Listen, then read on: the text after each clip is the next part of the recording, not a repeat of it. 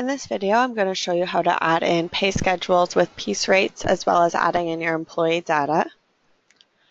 From your main dashboard, select the Work Crew drop-down and press Pay Schedules. To add in a new pay schedule, select the Add Pay Schedule on the right-hand corner.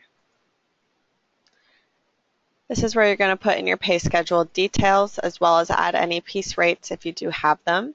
You just have to enter the rate as well as what master style and product that rate gets associated with. You can add in as many different piecemeal rates as you'd like.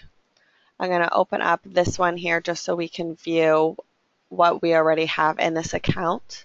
So for strawberries and raspberries, there's different prices per master style, so it's all associated there. And then we have your default hourly rate as well as your minimum wage. Once you have in your pay schedule added, you can go into your employees underneath your work crew.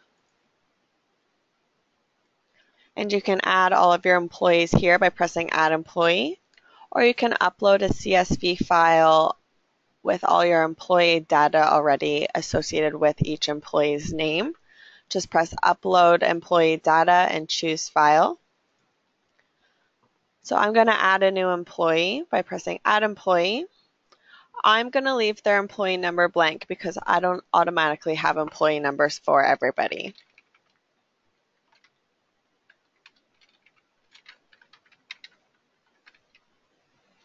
So you don't have to add in all information. You can add in whatever basic information that you need for your operation and press save.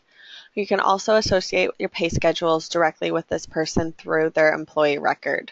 There's pay schedules right here. If you press that drop down, you will see the pay schedules that you already added into your account. Once you're done, press save. And now you'll see I have a new employee here. They do not have an employee number, so I'm going to press Generate Employee Numbers and press Generate.